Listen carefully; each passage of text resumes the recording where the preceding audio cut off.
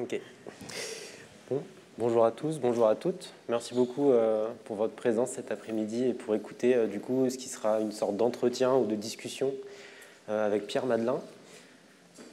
merci, merci également à la Fondation pour son invitation.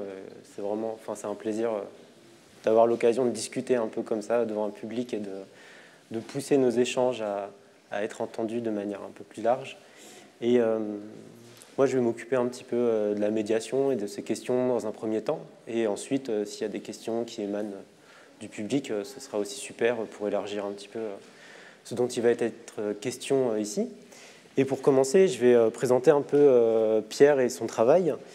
Et d'abord commencer par un aspect qui est sûrement moins connu, qui est l'aspect de la traduction, parce que à défaut d'assurer une renommée euh, à défaut oui, d'assurer une renommée, être traducteur assure euh, souvent un revenu pour des personnes qui écrivent par ailleurs et, euh, dont il est plus difficile d'en vivre. Et, ce travail de traduction, ça fait une dizaine d'années, plus que ça même que, Pierre le mène. Et c'est un peu la partie immergée d'un iceberg, mais qui est aussi une démarche d'écriture. Traduire, c'est aussi ça. Euh, et, donc cette démarche de traduction, euh, enfin traduire, c'est aussi un peu être un, mercenaire d'une certaine façon. Il faut aller démarcher euh, des maisons d'édition, renouveler toujours des demandes, etc. Et dans la galaxie un petit peu de ces maisons d'édition auxquelles Pierre a contribué, il y a White Project, qui est une maison d'édition centrée sur l'écologie politique, l'éthique environnementale, la philosophie politique, la philosophie de l'écologie. Il y a les éditions Dehors, où euh, un ouvrage d'ailleurs euh, vient de paraître, cette fois-ci écrit et non traduit. il y a d'autres éditions, Zone Sensible, d'autres encore. Et, parmi ces, livres que Pierre a eu l'occasion de traduire, il y a beaucoup de livres importants, mais dont, souvent on ne connaît pas forcément les personnes qui les traduisent. Et parmi eux, le premier, je crois, qui est Éthique de la Terre de Calicotte, et qui est une, une introduction un petit peu à, l'éthique environnementale et à la philosophie de l'écologie euh, en France. Euh, ce mouvement qui a été un peu introduit par euh, une chercheuse assez connue qui s'appelle Catherine Larère et qui s'appuie sur des personnes comme Calicotte, Aldo Léopold, Arne Ness, qui ont été introduits, traduits peu à peu, et notamment pour une bonne partie par Pierre. Euh, et, donc la plupart des, ouvrages que tu as pu traduire euh, sont issus de ce mouvement-là. Donc Arnenès, il y a aussi une biographie de, de Soro, il y a aussi euh, l'anthropologie de Tim Ingold, par exemple. Et un petit peu plus récemment, un ouvrage important, lui, plutôt en éthique animale et dans une approche socio-économique des animaux, qui est Zoopolis. donc un livre qui a, comment dire, qui a beaucoup amené de commentaires sur sur comment avoir une, approche. Euh, on a parlé beaucoup de cohabitation avec le loup euh, ces derniers jours. Euh, et, là, c'est un peu une, boîte à outils juridique, philosophique et pragmatique également, ce livre Zoopolis que, Pierre a donc introduit en France. Et, plus récemment encore, il y a des textes que tu as traduits de, philosophes écoféministes, notamment de Val Plumoud, dont L'œil du crocodile assez récemment, et que je vous conseille chaleureusement. Et donc, s'il y a cette, euh, grande masse de littérature euh, qui a été traduite, il y, a aussi, euh, il y a aussi des choses qui ont été écrites, et c'est pour cela que Pierre a été invité, je crois, ici, et notamment pour un premier texte qui s'appelle Carnet d'estive, qui a été réédité il y a, il, y a, un an en poche aux éditions White Project. Et on va avoir l'occasion de parler un peu de la jeunesse de ce texte. Carnet d'estive, c'est un, texte qui fait des allers-retours entre entre les Alpes, entre, euh, euh, entre euh, une profession ou du moins quelques expériences d'aide berger qu'a eu Pierre en estive dans, dans l'Ubaye, en Savoie ou également dans le Kéra, comme, comme idée au début de l'ouvrage. Et donc des allers-retours entre ces périodes d'estive et, et des périodes plus de voyage ou simplement d'habitants dans le Chiapas, au Mexique. Mais, euh, et ce livre, Carnet d'estive, s'annonce un peu, donc paru en 2016 pour la première fois, et à la fois un, bilan, un peu un bilan euh, d'expérience que Pierre pourra nous raconter ensuite, et également un programme, car il est dit à la fin de ce texte-là, euh, peut-être que devant un état du monde assez déplorable, notamment sur le plan écologique, il est dit peut-être qu'un de nos outils pour se ressaisir de cet état-là, c'est la critique sociale. Et les livres suivants qu'a pu écrire Pierre sont des essais et qui s'inscrivent dans cette lignée. le premier, après le capitalisme, essaye de penser qu'est-ce que pourrait être un monde qui se serait débarrassé de ce système économique-là. Non pas de dire comment on s'en débarrasse, mais d'essayer de se projeter plus loin et de, penser à, un, monde, un, monde, futur. le suivant, que j'ai ici s'appelle Faut-il en finir avec la civilisation? et s'intéresse au primitivisme, euh, au primitivisme politique et également à, à l'anthropologie, la paléontologie euh, sur euh, et quels, quels, outils politiques ont été tirés de ça et une critique de, de, de, ce mouvement-là. Et plus récemment, donc, La Terre, les corps, la mort, qui est un essai plus de philosophie sur, sur la mort et, et le transhumanisme notamment, et nos rapports, nos rapports à, à cet événement euh, enfin, qui concerne euh, chacun. Et plus récemment, donc, un livre qui sera à apparaître sur l'écofascisme, plutôt d'histoire, une synthèse euh, sur, sur ce courant-là. Et, et, donc là, on en reste un petit peu à la surface, c'est-à-dire un peu aux pages qui ont été écrites ou traduites. mais pour dire deux mots également sur Pierre, Pierre c'est également une personne en mouvement et en, voyage assez incessant, qui a grandi en France, puis à Cuba, qui a passé du temps ensuite, euh, donc on l'a dit, dans les Alpes, euh, à voyager un petit peu, et également beaucoup de temps en Amérique latine. Et euh, je pense qu'il sera un peu question aussi de, cette histoire-là. Et donc là, pour, pendant une heure, en gros, on va explorer un petit peu les, échos entre ces différents livres, des échos qui sont amplifiés par les lieux qui se trouvent pris dans ces livres-là, mais également les lieux que connaît Pierre, les lieux qui ont un peu scandé ta vie. Et donc pour commencer, on va parler de, de ce premier texte, Carnet d'estive, et donc j'ai dit euh, que c'était à la fois un bilan et un programme. Et euh, pour commencer, euh, si tu veux bien revenir un petit peu sur la jeunesse de ce livre-là, il semble neuf parce qu'il a été réédité il y a un an, mais par ailleurs, c'est un texte peut-être qui est travaillé depuis, ou du moins qui est né il y a 15 ans, et il y, a, il y a tout un cheminement. donc si tu peux revenir sur, sur sa jeunesse, sur ses conditions de production. Bah déjà, merci euh, aussi. Je voulais remercier aussi la Fondation pour l'invitation, pour votre présence, et puis euh, remercier vraiment Roméo aussi d'intervenir et, rappeler que aujourd'hui, euh, ce soir, c'est, enfin non, on n'est pas encore le soir, mais aujourd'hui c'est Roméo qui, qui m'interviewe en quelque sorte pour parler de mes livres.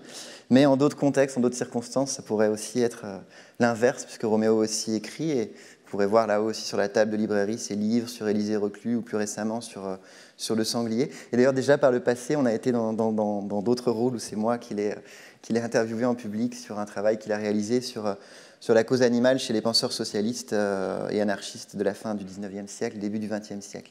Donc voilà, pour, pour, mettre en avant aussi son travail à lui.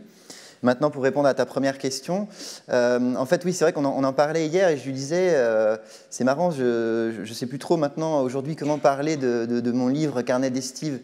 Euh, et, je lui disais, en fait, ce serait peut-être bien d'en parler au public, parce qu'après tout, un livre ne doit pas devenir un fétiche, quoi. Et, c'est bien aussi de, pouvoir, de pouvoir dire aux lecteurs, aux lectrices, quel est le rapport d'un auteur à, son livre, à ses livres qu'il a écrits par le passé.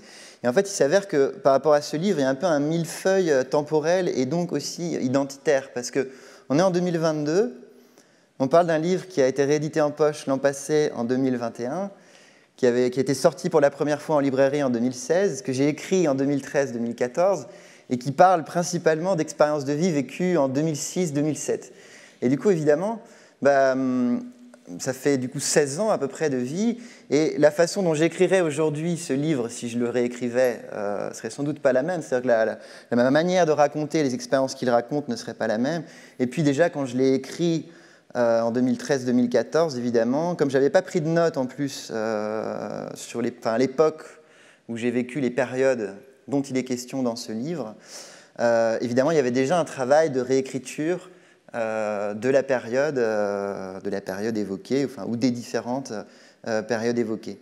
Donc, donc, forcément, la façon dont je, je vais en parler aujourd'hui, sans doute, ça va, m'amener à introduire peut-être des effléments de réflexion qui ne sont même pas forcément présents dans le livre, et à réinterpréter peut-être certains, certains, de ces, ces épisodes, notamment d'Alpage, où j'ai été berger euh, à l'aune euh, d'une lumière différente, en tout cas dans, mon appréciation de mon propre passé. Oui, parce que je ne l'ai peut-être pas assez présenté, mais, euh, ce livre, finalement, oui, fait des allers-retours, je l'ai dit, entre Alpes et Chiapas, et, à la fois un livre comment dire, qui peut s'inscrire dans la tradition du nature writing. Et c'est ça peut-être qui peut se raccrocher avec, avec ce lieu ici, avec les résidences qui s'y passent et, et, ce festival sur l'écriture et l'écriture des lieux.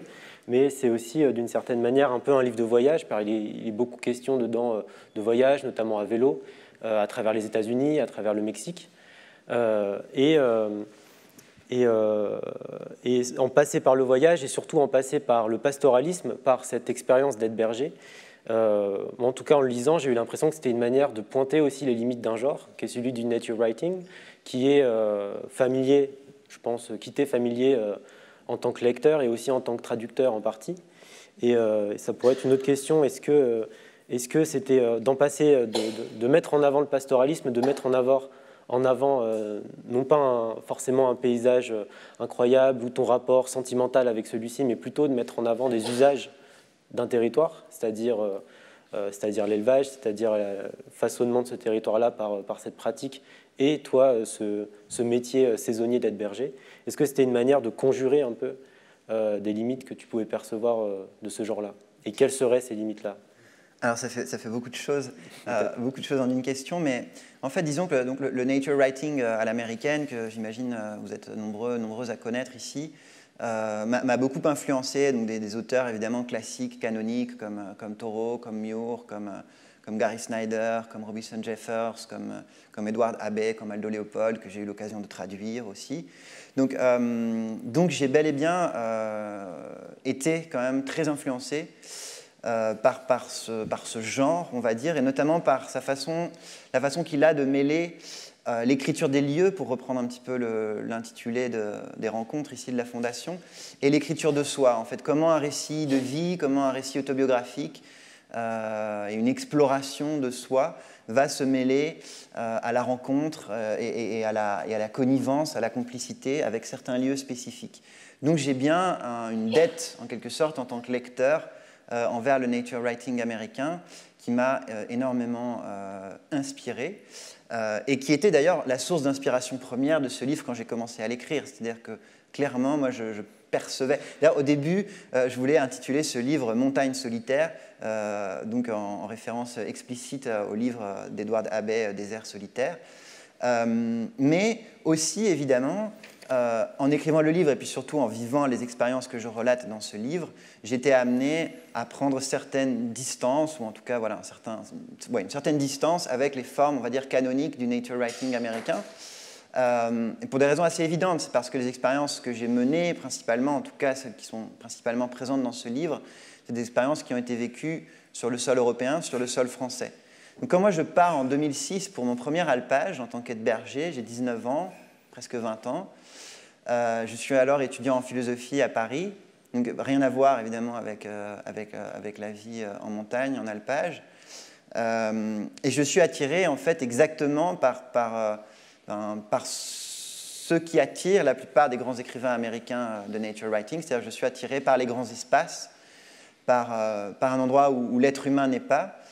Et, et, même si je vais, en sachant que je vais travailler dans le cadre voilà, d'une activité économique qui est le pastoralisme, moi, dans, en mon fort intérieur, dans le fond, ce que je vais rechercher, euh, c'est la nature sauvage, c'est un, un, en dehors, c'est un au-delà euh, de la société, du monde urbain euh, auquel j'appartiens. donc, à, la base, il y a bel et bien quand même voilà, la prédisposition, elle est très proche de celle des, nature writers américains. Mais après, évidemment, on arrive sur place et euh, ben, on, est, on, est, en Europe, encore une fois, on est dans un paysage qui est beaucoup plus anthropisé qu'il ne l'est euh, en Amérique du Nord, et où les usages euh, du territoire ont été, et notamment dans les, dans les, zones protégées, dans les parcs nationaux, sont beaucoup plus visibles et aussi ont été beaucoup moins invisibilisés qu'ils ne l'ont été aux États-Unis, où la création des parcs nationaux, la création de, des zones protégées, c'est souvent faite dans l'invisibilisation des usages euh, autochtones euh, antérieurs. Donc évidemment, le rapport au territoire que je vais, que je vais tisser à travers ces étés en alpage, il reste marqué quand même par une certaine fascination pour le sauvage, parce que malgré tout, les, hautes montagnes, même en Europe, elles ont quand même une dimension sauvage, elles ont quand même une dimension de quelque chose qui échappe à, l'emprise des êtres humains, de quelque chose qui dépasse l'humain. Mais en même temps, évidemment, voilà, je fais une expérience d'un territoire qui est, qui est pâturé, qui est habité, dans lequel il y a des histoires, des histoires humaines euh, qui se sont tissées, qui se sont écrites à travers le temps, et que pour, certaines, je relate dans le livre d'ailleurs des histoires de bergers, des histoires de cabanes, des histoires un peu rocambolesques parfois. De, je me souviens plus en détail d'ailleurs de, ce que je dis exactement, mais voilà.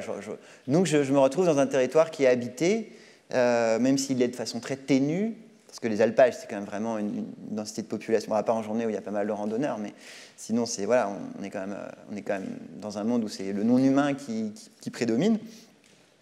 Et, euh, et, puis dans un, dans un, dans un territoire où, voilà, où, il y a, y a quand même des usages. Donc c'est là où effectivement, peut-être par rapport à un nature writing plus, plus classique, euh, à l'américaine, il y a cette touche en fait d'une nature plus européenne aussi qui apparaît, qui apparaît dans mon récit. Puis il y a peut-être aussi une, une, nature, ou en tout cas plus appropriée et plus, enfin pas forcément plus appropriée, mais plus quadrillée, plus, plus plus délimité. Enfin, par exemple, je pense à John Muir euh, qui, traverse euh, de part en part les États-Unis et qui finalement euh, peut le faire. C'est-à-dire, il, peut, il peut couper tout droit dans la forêt, il peut couper tout droit dans des grandes étendues. Et ce qui est un peu plus difficile peut-être à faire maintenant, on parlait de l'Aubrac par exemple hier, qu'un espace qui a priori s'offre à la vue ouvert, ouvert et, et, peut ressembler à certains déserts ou du moins à, certains, certaines landes, à certains espaces très large, quoi, avec un, une grande étendue, mais euh, dès lors qu'on descend dedans, eh bien, euh, c'est un endroit quadrillé par des barbelés, par euh, cet élevage extensif aussi, plutôt bovin, par rapport à... Enfin, il y a aussi de l'élevage bovin en alpage, mais toi, tu parles plus d'élevage au vin. Et, et, donc, il y a aussi cette différence-là, quoi. C'est, un espace un peu plus délimité, peut-être, que les espaces vécus par les nature writers américains. Euh, oui, et en même temps, dans les Alpes, je pense que dans les Alpes françaises, en tout cas, je ne sais pas comment c'est en Suisse, parce que je ne connais pas trop les montagnes en Suisse, mais dans les Alpes françaises, c'est quand même vraiment un des seuls espaces en France où on peut faire l'expérience, non seulement visuelle, mais physique, d'une certaine illimitation. Que c'est des espaces où il n'y a pas de barbelés, en fait. Je crois que c'est vraiment, ou très peu de barbelés. Et c'est vraiment une des choses que j'aime dans les on pourrait dire la même chose dans les Pyrénées, c'est qu'on est, on, est vraiment dans, dans les rares territoires français où on peut sortir d'un sentier et ne pas être presque immédiatement euh, détenu ou empêché dans, dans, son avancée euh, par une clôture ou par un barbelé. Euh, après, c'est une illimitation qui est elle-même limitée dans le sens où, rapidement, après quelques heures de marche, c'est ça évidemment la différence avec un territoire comme celui de l'Amérique du Nord, on va retrouver une route, on va retrouver un enclos, on va retrouver une, un village, etc. mais, quand on reste en tant que tel sur l'alpage, et ce qui est quand même l'expérience du berger ou de l'aide-berger, qui est une, forme de nomadisme statique, on va dire, pendant quelques mois. Euh, là, il y a quand même une sensation d'illimitation assez forte, en tout cas que moi, ce sont les seuls espaces en France où j'ai pu ressentir, euh, où j'ai pu ressentir vraiment, j'ai pu vraiment éprouver euh, ces, horizons et ces, illimitations de l'espace et du territoire. Et je pense à un moment dans, dans Carnet d'Estive enfin, qui est assez, assez, terrible et en même temps assez drôle, où tu es, es, à vélo, où tu traverses l'Utah, euh, aux États-Unis, et un peu à la recherche des, paysages euh, qu'a décrit Edward Bay dans euh, Désert solitaire. Et ça a l'air d'être un enfer, enfin, d'être une sorte de calvaire, d'arriver dans un parc naturel américain là très quadrillé et surtout très urbanisé, et où, toi, en tant que campeur, tu dois décamper alors qu'il alors qu'il est possible de, de traverser ce territoire-là en 4x4, etc. Euh, et il y a peut-être aussi, euh, je ne sais pas dans quelle mesure ça a influencé ton texte, mais une certaine désillusion devant euh, les paysages décrits par toute cette, toute, cette tradition littéraire. Et de se rendre compte que finalement, soit c'est plus ça, soit en fait ça l'a jamais été, ou en tout cas, c'est pas exactement ce à quoi tu t'attendais. Donc là, par rapport vraiment aux États-Unis. Mmh. bah, C'est vrai que c'est un des chapitres de mon livre où je, je relate, donc en, je crois que c'était en 2011, où je suis parti aux États-Unis et où j'ai traversé euh, à vélo le sud-ouest des États-Unis, notamment euh, le Colorado, l'Utah et l'Arizona, inspiré, euh, enfin attiré en tout cas par, par mes nombreuses lectures de littérature américaine, notamment de nature writing, et notamment d'Edward Abbey, qui avait été ranger dans le parc national des Arches dans les années 1960-1970, et qui dénonçait déjà d'ailleurs à l'époque la mainmise en fait du tourisme, mainmise croissante du tourisme industriel sur les parcs nationaux américains. Et c'est vrai que là-bas, finalement, aux États-Unis, pour revenir un petit peu sur cette histoire de, quadrillage, sur ce thème que tu utilises, euh, je me suis retrouvé dans des espaces qui étaient euh, qui n'étaient pas forcément physiquement quadrillés comme peuvent l'être les, territoires euh, européens, mais qui étaient d'une certaine façon symboliquement quadrillés, parce qu'on arrivait dans ces parcs nationaux. Alors il y, avait, quand même des bornes physiques aussi, mais c'est vrai qu'on avait l'impression d'entrer dans une autoroute. Je ne sais pas s'il y en a parmi vous qui sont déjà allés aux États-Unis et qui ont été dans des parcs nationaux aux États-Unis, mais c'est vrai que c'est pour, euh, un Français, en tout cas, je ne sais pas exactement comment c'est en Suisse, mais en, France, un parc national, l'entrée d'un parc national est très peu matérialisée en fait. Enfin, on, peut à la limite ne pas se rendre compte quand on marche en montagne qu'on est en train là tout d'un coup de franchir les limites d'un parc national. À part si on arrive dans le village où il y a les bureaux du parc euh, et, l'accueil, etc. Mais aux États-Unis, on a vraiment cette, euh, on a vraiment la logique du péage, quoi, qui, permet d'accéder au parc. Euh, beaucoup de caméras de, vidéo, de vidéosurveillance. Et, puis les, routes, en fait, les, parcs nationaux sont parcourus par des routes qui ont été construites spécifiquement pour, pour qu'ils soient parcourus en voiture, plus précisément en pick-up plus précisément en RVs, non, comme disent les, Américains, des énormes camping-cars comme il n'y en a pas en Europe. Et puis voilà, tout ça s'accompagne d'une mise en tourisme, d'une mise en scène touristique euh, qui est, euh, dès qu'on s'approche d'un parc, on voit des, énormes publicités panoramiques qui offrent des, possibilités de survol aérien, de randonnée en quad, de, de, toutes sortes de choses. Et puis, il y a les boutiques de souvenirs tout de suite qui sont là aussi. Alors, voilà, avant même d'être entré en fait dans le territoire du parc national, on en a déjà vu toutes les images. Euh, en fait, on arrive dans un territoire qui est épuisé pour l'expérience avant même que l'expérience n'ait commencé. En fait, on, arrive dans un territoire qui est interdit à l'expérience, en fait, qui est muséifié, qui est retranché en fait euh, derrière une, une musification marchande et visuelle. Parce que dès que tu arrives dans ces endroits, euh, avant même d'y avoir mis un pied, tu, les as vus sous toutes leurs formes, à travers les, photographies, sur les t-shirts, vous savez, les, petites bulles de neige là qu'on secoue, là, des, enfin, en fait, les tasses, les, pins, les, cartes postales et tout ça. Et donc, et puis tu, tu, circules sur ces routes, et puis tu as des miradors, et puis après tu arrives à des campings. Euh, et moi, j'étais à vélo et j'étais fatigué, je voulais camper, mais en fait, les réservations étaient déjà, étaient déjà pleines. Un peu comme dans le film Into the Wild, vous savez, où ils cherchent à, descendre le, Colorado et puis ils se rendent compte que la prochaine réserve, enfin, le, prochain créneau, c'est pour euh, dans 8 ans après. Et, euh, et moi, c'est un peu la même chose qui m'est arrivé. Je suis arrivé dans un camping, j'étais fatigué, et puis elle m'a dit non, non, il n'y a, a, plus de place avant, euh, je sais pas, c'était en 2011, il n'y a plus de place avant 2012 ou un truc comme ça. Du coup, j'ai dû repartir, et puis mais j'étais vraiment crevé. Et puis elle m'a dit c'est, plus que de la descente, mais bon, ça c'est quand on fait les choses en voiture, il y a, plein de montées qu'on ne voit pas. Donc euh, en fait, il y avait quand même pas mal de montées. Je me suis arrêté pour camper. Sauf que les déserts, j'ai, vraiment compris à ce moment-là pourquoi les, guérillas, euh, historiquement, se sont, peu développés dans des déserts, parce que c'est vraiment difficile de se planquer. Et, euh, donc le matin, il y a un ranger qui, est venu m'interpeller, il avait un fusil mitrailleur et tout, il rigolait pas. Et, il m'a foutu une amende parce que j'avais campé, c'est interdit de camper. Mais je lui ai dit, mais ouais, mais j'étais fatigué, je suis à vélo, il n'y avait plus de place en camping et tout ça, mais bon, il n'a rien voulu entendre. Et donc ça, c'est une autre forme de quadrillage, en fait. C'est-à-dire que même dans un espace euh, très ouvert et, très... Euh, en fait, le fait où il n'y a pas de barbelé, où il y a, mais, il, y a, il, y a un, il y a un rapport à l'espace, en fait, qui est, qui est très téléguidé, en fait, et qui est très... Enfin, où l'expérience du monde est... est hum, où l'accès au monde en tant qu'expérience n'est pas vraiment possible, en fait. Et là, je trouve que ça montre un peu euh, bah, ce dont on a pu un peu parler tout à l'heure, c'est-à-dire, euh, et, qui se retrouve assez clairement dans ce livre euh, Carnet d'Estive, c'est un aperçu de temps à autre, voire enfin, assez fréquemment d'un monde un peu usé, ou en tout cas certaines de ses formes paysagères peuvent sembler l'être. Et, et, donc la pratique du pastoralisme ou d'être berger montre un peu une manière de conjurer, de conjurer un peu cet aspect usé par, par des usages, qui sont des usages quotidiens un petit peu de certains espaces. Et euh, dans cette pratique-là, il y, a quelque chose qui m'a marqué dans Carnet d'Estive, c'est un moment où, euh, où il y a euh, des bergers et bergers qui, communiquent à l'aide de talkie-walkie d'un alpage à l'autre, d'une estive à l'autre. Et, et, ça m'a fait comme si des, solitudes faisaient communauté en communiquant comme ça.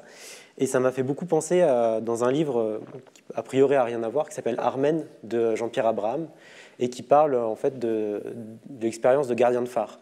Et il y a exactement cette même scène euh, dans, le phare d'Armen euh, dont parle Jean-Pierre Abraham, où, où, les gardiens de phare sont en train de communiquer et perdent d'ailleurs de leur batterie, sont en train de communiquer, et il y a ces espèces d'îlots disséminés large, au large des côtes bretonnes qui, euh, qui, sont habités par des personnes souvent seules ou des binômes et qui arrivent malgré tout à communiquer, à faire communauté. Et il y a un peu cette même chose, et euh, de la même manière que beaucoup de gardiens de phare étaient euh, des objecteurs de conscience, ou alors des personnes qui ne savaient pas trop ce qu'elles allaient faire, qui vivaient enfin qui vivaient en Bretagne et qui ne savaient pas bien quel métier ils allaient adopter, quoi. ils ne voulaient pas forcément aller dans la marine, eh bien, il y a beaucoup de bergers ou d'aides bergers qui, d'une certaine façon, et tu le dis en ces termes, euh, t'aimerais penser que euh, ces bergers-là, les bergers d'aujourd'hui, sont en quelque sorte des déserteurs. Et ça, c'est un thème qui est, assez, euh, qui est très présent dans Carnet d'Estive, mais qui est euh, présent peut-être plus encore dans le livre suivant, qui est un peu comme la, reprise de Carnet d'Estive, mais sous une forme d'essai et critique. Faut-il en finir avec la civilisation? Et donc, si ça te va de, parler un petit peu de ces thèmes-là, de la désertion, de l'érémitisme, est-ce que ça serait une sorte de respiration politique, mais de respiration politique individuelle, euh, face à, un monde perçu comme un peu usé, où, euh, finalement, ne euh, trouverait pas ta place. Quoi. Bah déjà, peut-être qu'il faut, peut-être, qu'on n'a pas suffisamment planté le décor par rapport au pastoralisme. Donc en, 2006, quand, quand je fais mon premier été en alpage, après j'en ferai quatre autres en 2007, 2008, 2010 et 2014. En tout, je travaillerai cinq étés en alpage. Euh, donc on est dans un monde en France du pastoralisme qui a été confronté à peu près 10 ans, 12 ans avant au, retour du loup depuis l'Italie. Et, depuis ce moment-là, euh, il y a eu des, financements pour payer des postes d'aide berger. En fait, c'est le contexte, on va dire, socio-économique dans lequel moi euh, j'arrive, c'est-à-dire qu'il y a des salaires en fait, qui, sont, qui sont pris en charge par l'État pour qu'il y ait des aides qui, secondent qui assistent les bergers dans leur travail. Donc moi j'arrive en tant qu'aide berger, hein. j'ai jamais été berger, euh, jamais été berger chef on va dire, j'ai toujours été aide berger. J'arrive en tant qu'aide berger euh, et puis euh, je découvre euh, ce monde du pastoralisme, je, découvre aussi la diversité de ses acteurs et, je découvre la diversité aussi un petit peu des profils qu'on peut rencontrer en alpage. Et je me suis amusé récemment à faire une, sorte de typologie de typologie des bergers, en fait, et de la diversité des bergers.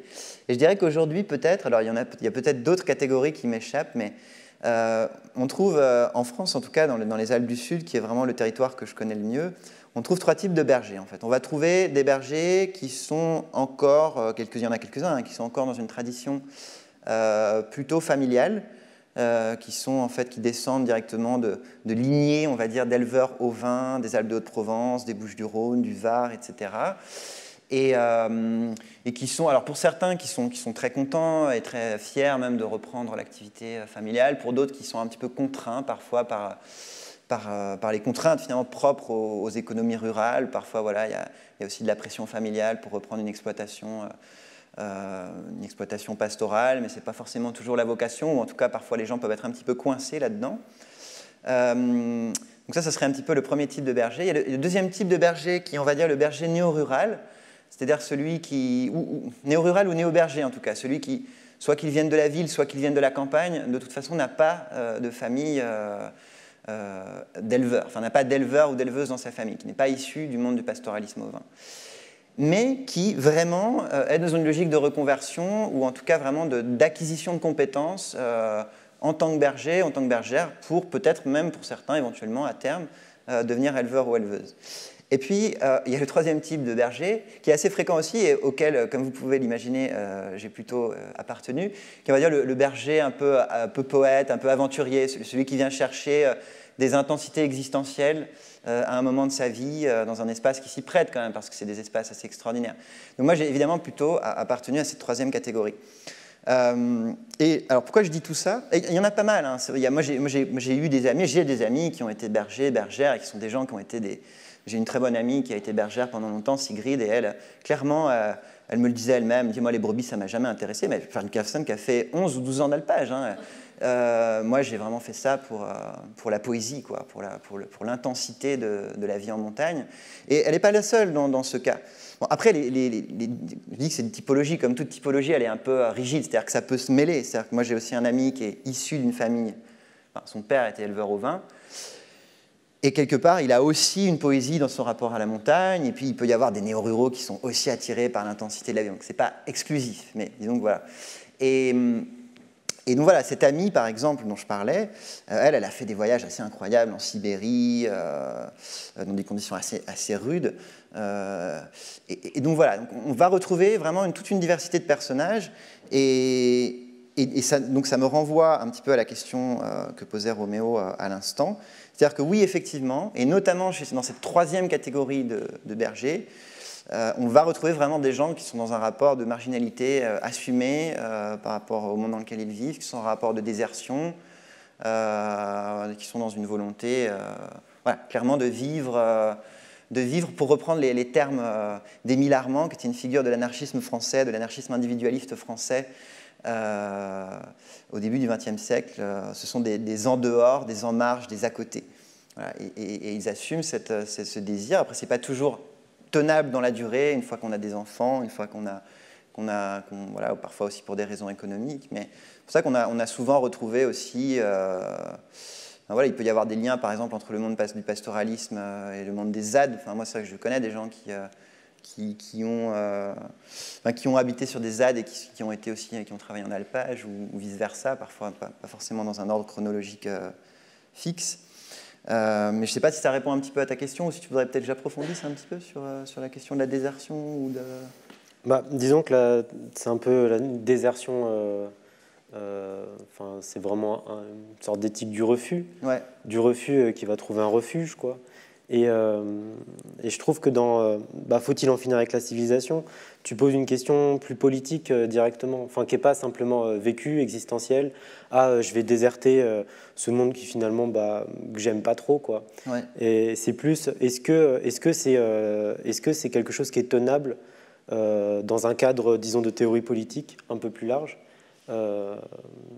Et et euh, je ne sais pas si tu veux parler de ce sujet-ci, euh, c'est-à-dire euh, de, que faire un peu de, ce désir de s'extraire, quoi, d'être en dehors comme l'étaient les anarchistes individualistes au début du XXe siècle, et d'articuler ça à une perspective un peu plus collective. Est-ce que, est finalement il est encore permis de déserter aujourd'hui? Hmm. bah, Je ne sais pas, mais hmm, je pense qu'il y a finalement c'est intéressant ce, que, ce, que, tu me demandes parce que finalement entre l'ermite ou le, mystique et puis le, révolutionnaire, il y, a, toujours, euh, il y a toujours finalement un certain, enfin il y a toujours des liens finalement quelque part, en tout cas dans le dans l'affect, dans l'émotion première qui est celle du refus du monde.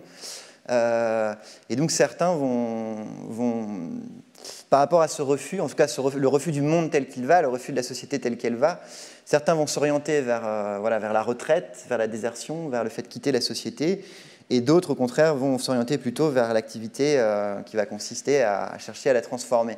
Mais parfois, l'émotion première et l'impulsion première, elle est, la même.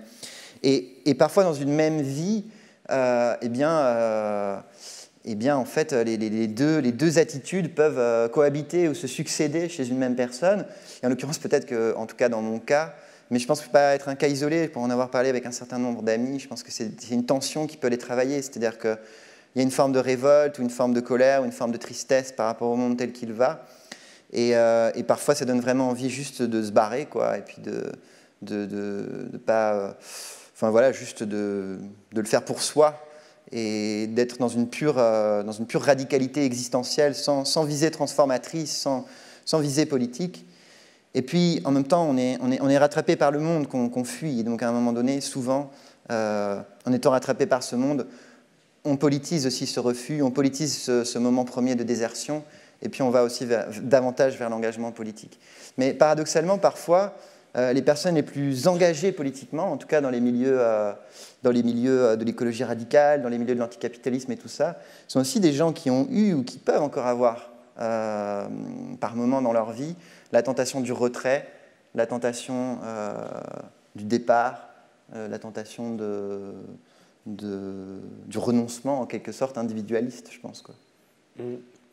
Et peut-être là où vous dites, bon, d'accord, on parle un petit peu, on parle pas mal du pastoralisme, on parle un petit peu aussi de posture politique, et sont passés un petit peu l'écriture et les lieux dont on parlait au tout début. Et, pour revenir à ça, sans, avec, avec un lien évident encore, on a parlé un peu de contraste là, cette fois-ci, entre un peu individualisme, retrait individualiste et euh, et, comment dire, et approche politique un peu plus collective. Et il y a un autre contraste qui est très fort euh, dans le travail de Pierre, mais aussi euh, dans sa vie de manière plus générale, qui est entre un attrait pour des lieux et, une poursuite d'une forme de nomadisme. tu parles de nomadisme immobile sur, mm. sur les alpages. Et par ailleurs, tu as passé beaucoup de temps à voyager, notamment à vélo ou à pied. Et, et cet attrait du lieu, on le retrouve dans les personnes dont tu as, traduit, euh, traduit les œuvres. Euh, je pense à Arnonès et à, l'endroit où, euh, où, il habitait, à Dvergeisten. je pense à Valplumud et à sa maison australienne, à, Soro et sa cabane, bien sûr, à Concorde, ou encore au Comté des Sables de Aldo Léopold, dont il assure la gestion en tant que, garde. Et, et donc, la question, ça serait est-ce que finalement, toi qui es passé de, de, la France à Cuba, du Mexique, à un retour en France, est-ce que ça serait une manière de trouver des ancrages géographiques chez les autres euh, que euh, de, traduire ces œuvres très ancrées? Bonne question. Euh,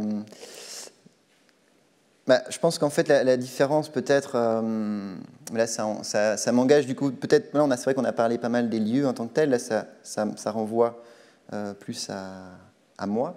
Et, mais c'est finalement ça, le nature writing, comme je le disais au début, qui, qui entremêle l'écriture de soi et l'écriture des lieux.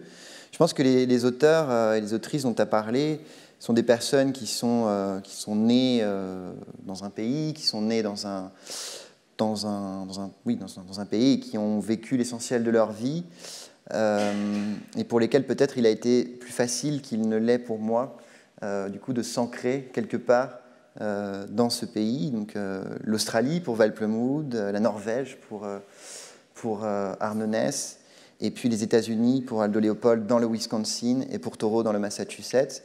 Moi, je suis confronté, on va dire, à une, à une équation. Euh, à une équation identitaire euh, plus difficile, puisque j'ai vécu euh, presque la moitié de ma vie en Amérique latine. Et donc, il y a une part de moi, en fait, qui est, qui est comment dire, indécrotablement cosmopolite en fait, qui, ne peut s'épanouir en fait que dans la cohabitation et dans la proximité euh, de lieux où il y a une multiplicité de, langues, une multiplicité de trajectoires de vie, de déracinement, de migration en fait qui est présente. Et en fait, ce type, ce type de sociabilité-là, on ne le trouve que dans les grandes villes. Et en même temps, il y a une part de moi qui aspire au silence, à l'espace. Euh, et, donc à des espaces euh, plutôt sauvages euh, ou ruraux. Euh, et, et, en fait, c'est très compliqué d'arriver à, concilier les deux. Donc, si j'écrivais peut-être un jour mon autobiographie, je sais pas, elle pourrait s'intituler le, lieu introuvable. Mais j'ai presque envie de dire que pour moi, voilà, le lieu est par définition introuvable parce que si je suis dans une grande ville, je vais m'épanouir socialement, mais je vais, je vais me dessécher par l'absence de rapport et de contact euh, avec, avec, avec la nature, avec le monde non humain, qui est devenu vital pour moi, notamment depuis ces expériences en alpage qui ont, qui ont été vraiment, enfin, qui ont, qui ont gravé euh, euh, dans le marbre, dans la chair de, de, mes nécessités intérieures, le besoin vraiment de, de grands espaces et de silence. Et si je vis dans, un petit village reculé, je, vais, m'épanouir à ce niveau-là, mais je vais me dessécher intérieurement euh, de par l'absence en fait de cette, effervescence cosmopolite de la grande ville. Et donc, euh, je pense que le moment où j'aurai l'équivalent du Walden de Taureau ou du Tvergasten de Ness n'est pas encore arrivé. ceci dit, Tvergasten, Ness n'y vivait pas. Il, il, était prof de fac à Oslo et et c'était, euh, plutôt son ermitage, euh, sa résidence secondaire, sa résidence secondaire très, très spartiate. Mais on aimerait bien que les gens qui ont des résidences secondaires euh, aujourd'hui s'inspirent de Ness dans leur, dans leur sobriété.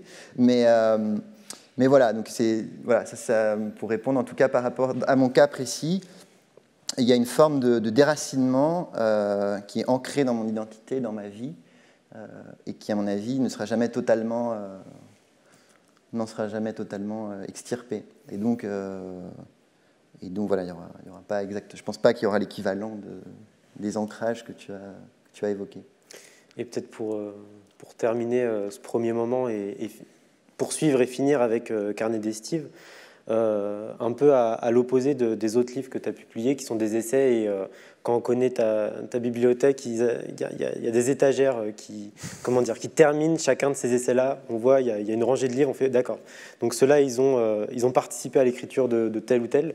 Euh, Carnet d'Estive, c'est un, livre un peu plus ouvert euh, parce qu'il ne répond pas à une commande, parce que ce n'est pas une question que tu adresses.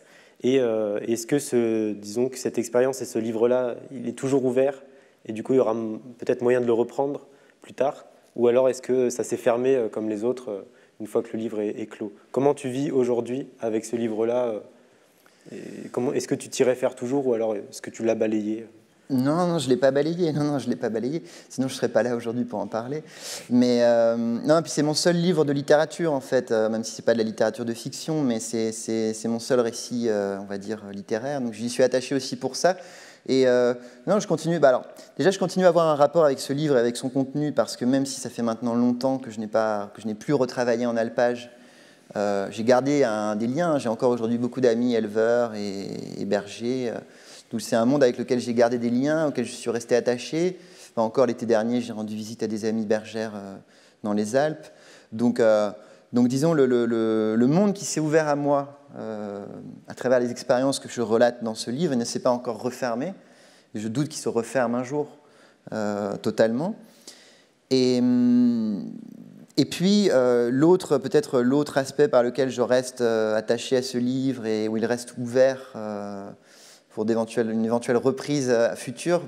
alors, pas, je ne vais, pas réécrire ce livre, je ne vais pas réécrire un autre livre sur mes étés en alpage, mais j'espère un jour euh, retrouver la matière, euh, une matière suffisante dans, ma vie euh, pour réécrire ce type de livre. J'aimerais bien réécrire un jour ce type de récit, encore une fois, où, le récit de soi et, l'écriture des lieux puissent s'entremêler.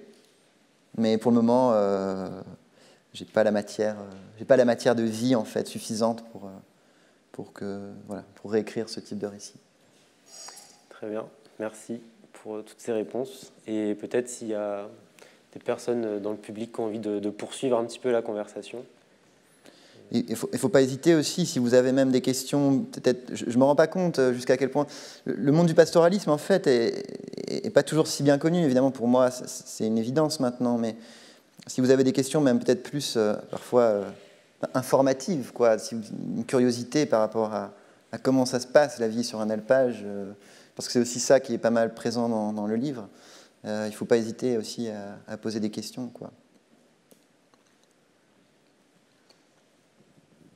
Euh, pour euh, cette discussion. Euh, J'ai pas eu encore l'opportunité de lire Carnet d'Estive, mais je serais curieuse de vous entendre sur le rapport que vous avez eu avec les animaux en fait durant ces étés. Voilà. Je réponds? Euh, ouais non, ça c'est une super question. C'est vrai qu'on n'en a pas parlé. Bah, c'est vrai que. Non, non, mais il s'est passé beaucoup de choses en plus. Il y aurait beaucoup de choses à dire. Moi, quand je, pars, donc en 2006, mon premier été, euh, bah, comme je l'ai dit, je, suis plus le, le, l'aide berger euh, qui est tenté par l'aventure, qui est tenté par, la poésie de l'alpage. En fait, moi, le, pastoralisme en tant que tel m'intéresse pas beaucoup. Les brebis m'intéressent pas vraiment. Euh, et d'ailleurs, le premier été, euh, le berger avec lequel je travaille n'a euh, pas du tout envie que je l'aide par rapport au troupeau à proprement parler. Et donc, j'ai très peu de contacts ce premier été avec les brebis. J'ai des contacts avec les chiens, parce qu'il y a beaucoup de chiens aussi en alpage. Hein. Il y a des chiens de conduite, de troupeau, les, bon, qui étaient pas mal des border collies, puis il y a des, chiens de protection, donc les patous, en l'occurrence à l'époque. et puis, j'ai le contact avec les animaux sauvages, qui est très présent quand même en alpage, hein. surtout, surtout quand on est aide berger, c'est-à-dire que en tant qu'aide berger, qui était beaucoup sur la logistique, les déménagements d'une cabane à une autre, euh, les ravitaillements, c'est-à-dire où je me déplace beaucoup sans avoir 1500 euh, brebis euh, derrière moi et, 8 chiens hurlants. là, évidemment, je vois des animaux. Et donc, je vois beaucoup de chevreuils, beaucoup de chamois, des bouquetins, etc., des renards, enfin, beaucoup d'oiseaux. Et donc, il y, a un contact quotidien, assez intime avec les animaux sauvages. ça, c'est mon premier été. Après, mon deuxième, mon troisième été, là, le troisième été, je garde. Donc, il y a plus un rapport qui se met en place avec les brebis. je ne suis pas forcément voilà, jamais très, pas forcément très enthousiasmé par, par les brebis. C'est là où je vois que je n'ai pas une vocation de berger à proprement parler, quoi, que, ce n'est pas, vraiment le, sens de ma présence euh, en montagne. Et puis, euh, au fur et à mesure des... Mais, en fait, je me rends compte qu'en fait, maintenant, hein, a posteriori, que vraiment ce qui se joue pour moi dans ces premiers alpages, c'est plus le rapport à la montagne dans sa totalité, à l'écosystème montagnard. Les animaux, en fait, et notamment les animaux domestiques euh, pour lesquels je suis censé être présent, euh, en fait, retiennent assez peu mon attention. Et c'est un petit peu plus tard, en fait, notamment en 2014, dans ce qui reste aujourd'hui mon dernier alpage, que, euh, notamment en discutant beaucoup avec l'éleveur avec lequel je travaille à l'époque, la question à proprement parler plus de, l'éthique animale, en fait, de la relation euh, à l'animal en tant que tel et à l'individu animal qui compose le troupeau, commence par se poser à moi.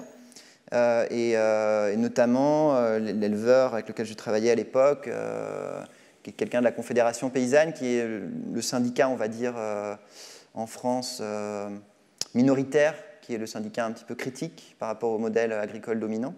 Euh, lui, il, me parle d'une chercheuse qui est très connue en France, qui s'appelle Jocelyne Porcher, qui, travaille sur, sur, la relation à l'animal. Et donc à ce moment-là, voilà, je, je, m'intéresse davantage à l'animal en tant que tel, sachant qu'en plus, en, ayant acquis un petit peu l'expérience de garde j'ai aussi une autre, euh, voilà, une relation avec, avec, les chiens qui change, que c'est plus seulement une relation euh, d'animal de compagnie, mais c'est une relation d'animal compagnon de travail. Euh, et toute une réflexion se met en place en moi sur les animaux et, qui fait, en fait, et, alors le truc c'est qu'aujourd'hui je suis devenu végétarien.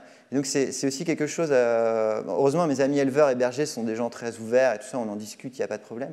Mais du coup j'ai aussi moi-même un rapport critique euh, par rapport à, l'activité de l'élevage euh, en tant que telle, dont, la finalité est quand même l'abattage.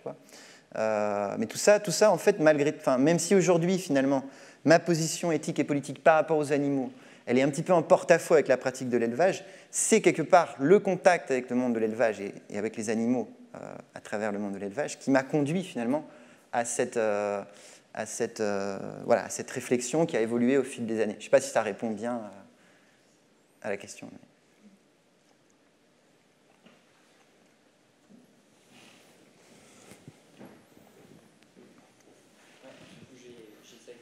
Non, mais le micro arrive. Euh, merci beaucoup pour les réponses aux questions. Euh, du coup, ma question, c'était spécifiquement par rapport au rapport au loup et ces trois typologies de bergers. Est-ce que euh, vous avez observé chez la troisième typologie de, de berger en particulier euh, un rapport différent des deux premières. Euh, même, en, même distinguer les trois, j'imagine qu'ils peuvent être assez différentes. Et ouais, quel, quel type de, quel type de, ouais, de, différentes euh, perspectives on peut avoir avec ces, différentes typologies ouais, C'est intéressant ça. Je n'avais pas, pas encore fait le, une, une sous-typologie des, des, rapports au loup selon le, non, mais si, il y a des différences, clairement. clairement, euh, la première catégorie de bergers, de gens qui sont plutôt issus de, lignées euh, d'éleveurs au vin, c'est souvent ces personnes-là qu'on va trouver la plus grande hostilité euh, à la présence de loups. Même si ce n'est pas forcément, je pense, absolu non plus. Puis il peut y avoir des degrés dans l'hostilité aussi. Enfin, je pense qu'il y en a qui veulent éradiquer les loups. Il y en a, ils veulent plus de tirs, mais ils ne sont pas forcément non plus pour éliminer l'espèce en tant que telle du territoire. Et je dirais que dans la deuxième et la troisième catégorie, en tout cas, j'ai pas fait une étude sociologique là-dessus. Moi, je parle plutôt vraiment des, personnes que j'ai rencontrées, des amis que je peux avoir. Là, il y a plus de tolérance, plus d'ouverture, euh, mais qui peut être en tension. C'est-à-dire qu'en fait, moi, j'ai un ami berger, par exemple. Lui, je pense que honnêtement, s'il se promène, il, voit un loup, il est ravi. Et par contre, quand il garde, euh, il n'a pas envie de voir de loup, quoi. Enfin, on loin, très loin. Euh, et euh, chez les, voilà, chez, les, chez les bergers néo-ruraux ou chez des bergers plus aventuriers, évidemment, le rapport au loup n'est pas le même. Euh, souvent, c'est des gens qui ne sont pas issus directement du monde de l'élevage, du monde rural, parfois qu'on fait des études d'écologie pour certains, enfin, qu'on voilà, qu une, qu une, conscience aussi de, la crise de la biodiversité et tout ça. Donc, il y a plus une volonté quand même de, de, trouver de la diplomatie, de la négociation, de, mais après, de toute façon, enfin, quelle que soit la conviction qu'on peut avoir dans l'absolu par rapport à, la présence des loups, moi, quand je gardais, euh, bah, évidemment, à partir du moment où tu gardes, tu n'as pas du tout envie qu'il y ait une attaque. Quoi. Ça, c'est évident. Ou alors, c'est qu'il y a vraiment un problème. Ta, présence n'est vraiment pas, vraiment pas euh, adéquate, on va dire. Quoi. Mais, euh, je ne sais pas si ça répond à ta question, mais oui, il y a, bien sûr qu'il y, a des différences à ce niveau-là. Moi, par exemple, un éleveur avec lequel j'ai bossé, qui n'est pas un néo-rural, mais qui est un néo-berger, parce que ses parents, il est issu d'une famille de, paysans céréaliers, mais lui, il est devenu éleveur. Lui, il n'était pas. Euh, il est membre de la Confédération paysanne dont je parlais tout à l'heure. Lui, il n'était pas du tout euh, sur, un discours euh, éradiquer les loups. Enfin, ça, c'était même. Il considérait que c'était inentendable, quoi. Et que même lui, en tant que syndicaliste, s'il arrivait quelque part qui disait ça, en fait, il se tirait une balle dans le pied, enfin, dans une volonté de dialogue avec des naturalistes, avec des. Par contre, il était favorable à ce qu'il y ait euh, peut-être plus de prélèvements, plus de facilité pour avoir le droit de tir dans certains contextes, etc. Donc ça se joue aussi dans ce genre de nuances, quoi, je pense. Pour ce que j'ai pu euh, entendre, en tout cas.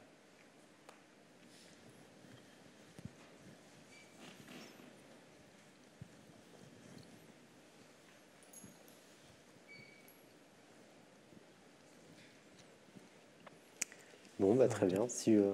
Ah, si, une question ici.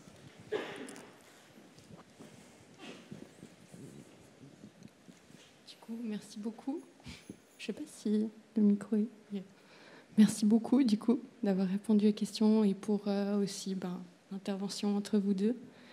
Moi, j'ai une question qui est plus sur, du coup, vu que maintenant vous êtes plus beaucoup dans ces environnements-là, dans les environnements où vous êtes, vu que vous voyagez, euh, comme vous l'avez euh, présenté euh, souvent, dans les environnements du coup de ville ou entre la ville et les espaces où il y a beaucoup plus justement les êtres non humains qui prédominent, est-ce qu'il y a des espaces dans les villes ou dans les villages pas ruraux qui sont étendus où il y a des effervescences du vivant?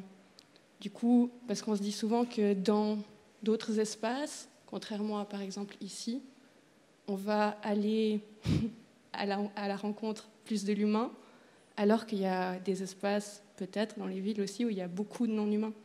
Et du coup, je voulais savoir si euh, mm. vous pensez ou vous avez des avis sur ces espaces euh, dédiés ou euh, dont le non-humain reprend possession en ville aussi. Bah, hum, je ne sais pas si j'ai des avis dans l'absolu. Évidemment, ça me fait très plaisir de penser qu'il puisse y avoir, évidemment, dans des espaces ruraux, une biodiversité importante et qu'en ville aussi, il puisse y avoir des espaces qui soient accueillants et qui soient hospitaliers euh, par rapport à, à, des oiseaux, à des insectes ou à toutes sortes d'animaux. Après, c'est vrai que moi, dans mon rapport personnel, en fait, c'est là où je suis peut-être resté un peu américain quand même. Euh, et, en tout cas marqué par mes étés en alpage. Moi, j'ai jamais été à proprement parler un naturaliste. Enfin, j'ai toujours, j'ai apprécié quand j'étais en alpage découvrir des noms d'espèces, découvrir, m'intéresser aux détails. Ça m'a intéressé, mais c'est jamais ça qui m'a le plus euh, mu euh, dans, dans, mon rapport à la nature, dans mon rapport à ces espaces. Et donc, ce qui fait que peut-être par rapport à un naturaliste qui pourrait vraiment être en extase aussi bien devant, enfin voilà, en étant dans une vallée alpine que dans une zone urbaine un peu abandonnée où il va y avoir une concentration de biodiversité un peu étonnante. Moi, moi mon rapport, il, se joue quand même beaucoup dans, dans, le lien avec, avec l'espace et avec un espace qui est vaste en fait. Et donc, euh, moi, j'aime euh, l'illimitation de l'horizon. Pour ça, j'aime assez peu les forêts, en fait. J'aime beaucoup les, beaucoup les déserts, les, environnements de landes, de steppes, de, de prairies alpines, etc. C'est plus les espaces un peu ouverts, minéraux. Quoi. Et donc c'est vrai que moi, si tu me mets dans une espèce de forêt abandonnée en ville où il y a plein d'espèces et tout, je vais dire, ah, c'est super, mais je vais, vais pas, euh, ça va pas m'exciter autant que, euh, que si je suis dans un, dans un vrai espace où je sens l'immensité, en fait. Mais je pense que c'est, des, voilà, c'est, aussi des, sensibilités. Hein. Il y a, des, il y a des, gens qui ont un rapport au monde vivant qui est beaucoup plus centré sur le détail, sur le micro, sur le... alors que ce n'est pas, c'est pas forcément mon cas pas si ça répond à... Ça répond D'accord.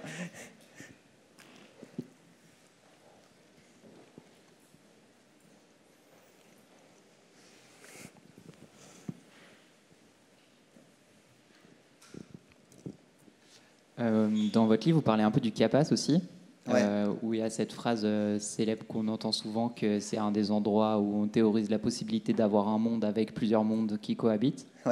Du coup, dans cette optique-là, est-ce que dans votre séjour là-bas, vous avez observé d'autres formes de rapports, euh, notamment aux autres humains, euh, à l'écosystème, à la notion de nature, euh, qui, qui, vous ont inspiré par rapport aussi à tout votre intérêt pour la, pensée environnementale, la philosophie environnementale? En fait, je dirais non, parce que si, si, si, si tu veux, le Chiapas, c'est contrairement à ce qu'on pense souvent en France, qu'on on parle du Chiapas et on pense que le, mouvement zapatiste, enfin que le Chiapas c'est le mouvement zapatiste et vice-versa. En réalité, le Chiapas c'est un État euh, parmi les 32 États qu'il y a au Mexique où euh, le mouvement zapatiste n'est qu'une euh, réalité parmi beaucoup d'autres dans l'État du Chiapas, qui État où il y a 5-6 millions d'habitants. Aujourd'hui, les zapatistes sont peut-être quelques dizaines de milliers à tout casser. Peut-être tu peux rappeler en deux mots euh, ce que c'est euh, le mouvement zapatiste. Le mouvement zapatiste qui est donc issu d'une insurrection armée en 1994 et puis qui petit à petit a, dans le sud du Mexique, dans, l'état du Chiapas, à la frontière du Guatemala, et qui petit à petit, euh, un mouvement qui, qui, est plus, qui est plus devenu un mouvement de résistance civile avec une volonté de construire des institutions sociales et politiques autonomes notamment, euh, notamment en marge des institutions de l'État mexicain. Il y a des institutions de santé, d'éducation, de justice qui ne sont pas celles de l'État mexicain, qui sont en vigueur euh, dans les territoires où il y a une présence zapatiste. mais du coup, moi, j'ai habité dans un Chiapas qui n'est pas le Chiapas zapatiste. J'ai habité dans une ville hein, qui s'appelle San Cristobal, qui, bon, la présence du zapatisme peut être un petit peu visible par certains aspects, mais, mais, mais plus sous des formes folklorisées que, sous des formes, on va dire, euh, concrète. Euh, moi, je n'ai pas été euh, en contact directement. En réalité, très très peu d'étrangers hein, sont directement en contact avec des, apatistes, notamment parce que c'est souvent des milieux qui sont assez fermés, hein, pour des raisons aussi politiques compréhensibles. donc moi, je n'ai pas, été, pas été directement en présence de rapports, de rapports au monde différents. Et, du coup, ce pas des choses qui m'ont directement inspiré, moi, enfin, dans, ma réflexion, euh, dans mes réflexions sur l'écologie. Et si on a parlé euh, enfin, pas mal dans cette discussion euh, de ton rapport au paysage états-unien ou de la protection de l'environnement là-bas, et à l'inverse plutôt dans un cadre européen français, c'était quoi ton rapport au milieu naturel ou, au paysage ou à la nature de manière plus générale au Mexique? Bah, c'est très différent en fait. Le Mexique, euh, c'est intéressant, c'est d'ailleurs aussi de voir comment la, possibilité ou les conditions de possibilité d'une expérience poétique du monde, d'une intensité existentielle dans son rapport au, lieu ou au paysage, elle est elle-même souvent tributaire de conditions sociales et politiques que parfois qui, ont été tellement naturalisées euh, pour nous qu'on ne s'en rend plus compte. Mais c'est vrai qu'en Europe, on peut avoir. Alors, c'est pas tout à fait le cas en saison de chasse, mais Sinon, il y a un rapport au territoire qui est assez innocent. Enfin, on a des cartes, on a des sentiers balisés, il n'y a, pas de groupe armé qui nous attendent euh, au détour d'un sentier, etc. C'est vrai qu'au Mexique, moi, j'ai appris un rapport au territoire et un rapport au, paysage qui est plus marqué par des formes d'appréhension ou d'angoisse. Je dirais que ça le serait encore plus pour une femme, euh, notamment dans un pays comme le Mexique, par rapport aux risques spécifiques euh, de la condition féminine. Mais même pour un homme, euh, le Chiapas, par exemple, est un, État où, même si ce n'est pas un État parmi les plus violents du Mexique, euh, il y a quand même euh, on parle il y a un taux d'homicide qui est infiniment plus élevé qu'il peut l'être en France. En France, pas, il y a 300 ou 400 homicides par an. au Chiapas, dans un État de 5-6 millions d'habitants, il y en a 3 ou 4 000 et c'est un taux très très bas pour le Mexique. Et, et notamment, il y a énormément de conflits fonciers. Il y a énormément de conflits fonciers. On est encore dans des sociétés euh, paysannes, des sociétés paysannes en crise, en évolution et tout ça, mais quand même des sociétés paysannes. Il y a encore beaucoup d'agriculture euh, paysanne, de subsistance, etc. Euh, et, du coup, ça crée un rapport au territoire qui est vachement. qui passe vachement par, la propriété foncière, qu'elle soit, soit privée ou communale, et qui crée des tensions, en fait, autour du foncier. Et qui fait que l'irruption, tout d'un coup, d'un étranger, d'un inconnu, peut être perçu euh, de façon euh, euh, bah, comme quelque chose d'indésirable. Moi, j'ai eu des histoires, moi ça m'est pas arrivé, des gens qui vont se promener un peu comme ça, bêtement, quoi, tu vois, ne serait-ce qu'autour de San Cristobal, où tu es tout de suite dans des forêts, d'un coup, il y a un type qui arrive avec sa machette, et il n'est pas content, quoi, et c'est bon, pas agréable de voir quelqu'un qui, qui, arrive en brandissant une machette, c'est pas... Disons que après, l'expérience de la balade est moins détendue, quoi. Et, euh, et, ça, moi, c'est quelque chose que j'avais clairement à l'esprit quand j'ai notamment traversé le Chiapas à vélo, et euh, bon, alors à vélo, c'est un petit peu différent parce que tu es sur des routes, sur des pistes, donc ça, c'est des, espaces, on va dire, publics. Mais euh, tu ne vas pas planter ta tente n'importe où, quoi. Tu ne vas pas mettre ta tente au milieu d'un chemin. Tu fais pas forcément ça en Suisse ou en France non plus, mais si tu le fais en Suisse ou en France, alors je sais pas en Suisse, mais en France, a priori, il n'y a pas un mec qui va débarquer avec un fusil, quoi. Et hum, là, tu fais attention, tu vas demander l'autorisation, tu sais que ça peut créer des tensions. Et même, hein, une fois, un soir, j'arrive dans un village avec un ami à vélo, on avait passé une journée à vélo, on était vraiment fatigués, on arrive dans un village pour demander euh, le droit de dormir dans le village. Et là, il y a quelqu'un qui est arrivé en courant, il était très tendu, hein, il nous a demandé ce qu'on faisait là. On lui a dit qu'on cherchait un endroit pour dormir, on a dit non, non, partez. Quoi. c'est des choses, euh, voilà, ça crée un rapport à l'espace et au paysage et au territoire qui est tout de suite... Euh, en fait, la conflictualité sociale qui est inscrite dans ce territoire, évidemment, elle, elle déteint sur l'expérience qu'on peut en avoir et où, euh, euh, pour jouer un peu avec les mots, l'expérience géopoétique est tributaire d'une géopolitique euh, sous-jacente, en fait, qui est, enfin, en tout cas qui est celle de, des rapports sociaux qui sont en vigueur sur place. Donc non, ce n'est pas, du tout la même chose. par contre, dans d'autres espaces d'Amérique latine, notamment plus au Pérou, en Bolivie, en Argentine, où là on est vraiment dans des grands espaces. Alors là, par contre, à l'heure que ça te prend, tu t'arrêtes au bord de la route, tu fais 100 mètres, tu plantes ta tente, il n'y a personne de toute façon. Donc encore une fois, ça change d'un pays à l'autre aussi. Mexique, on parle d'un pays, notamment le sud du Mexique, où il y a une densité de population assez importante quand même, avec une paysannerie très forte. Donc voilà.